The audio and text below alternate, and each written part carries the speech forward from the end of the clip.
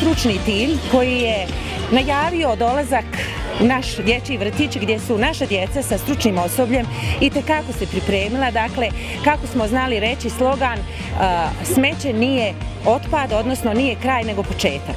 I sa svojim umjetnim rukicama i sa učiteljicama su napravili od otpada ono što se može danas vidjeti. Mislim jedno dječje umjetničko djelo. Hvale vrijedna akcija, djeca će podnijeti iskustva za cijeli život o recikliranju otpada, o različitim situacijama kad možemo da djelujemo pozitivno. Od kad radimo sa ovim, djeca su sve više zainteresovana i sve više i sama ideja donose šta bi mi mogli još napraviti od čega, tako da je ovo jedan veliki plus i za građanstvo ukoliko ovo nastavi se dalje. Jer ovo što su oni usvojili kod nas, sad treba kod roditelji da dalje prošire ta znanja. Kroz svih e, e, osam radionica koje su Unski smaragdi proveli u ovih nekoliko mjeseci, zaista mogli smo vidjeti da su naša djeca vrtića Unsko-Sanskog kantona ekološki svjesna ali unski smaragdi su im naravno uz pomoć svih ovih koji su nam pomagali podigli njihovu svijest na viši nivo tako da će oni danas imati priliku na ovom završnom performansu upravo pokazati šta su oni to naučili. Akcenat je na pravilnom odlaganju otpada, na, na svim drugim tretmanima otpada, smanjenju, recikliranju, iskorištavanju otpada.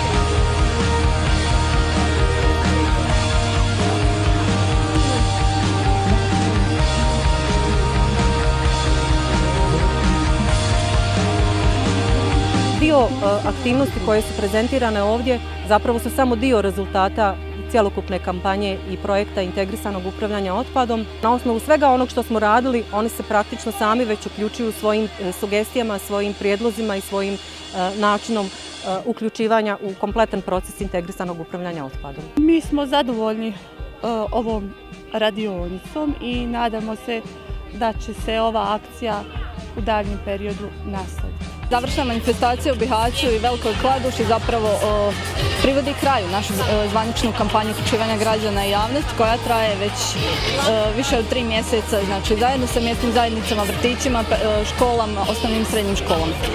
Izuzetno smo zadovoljni obzirom da je jako veliki interes svih uključenih strana, okrenuši od samih implementatora preko općina, komunalnih preduzeća, nevladnih organizacija koje su dali izuzetan doprinos u ovoj cijeloj kampanji. Moram reći da očekujemo i nastavak kampanje, znači da ovo neće stati na ovim završnim manifestacijama da od mjeseca septembra najvjerojatnije ćemo imati podršku i možda resornog ministarstva okoliša i općina i drugih zainteresiranih strana da se ove aktivnosti nastave.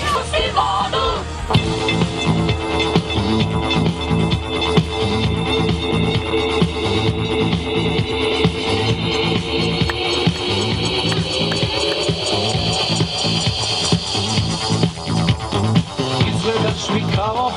Look inside.